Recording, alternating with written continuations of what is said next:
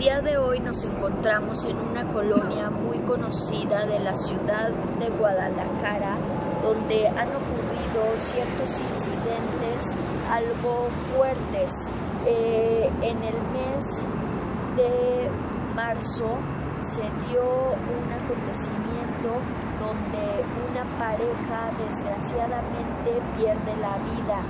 Ellos fueron, eh, les quitaron, les arrebataron la vida con un alma, con un arma eh, de fuego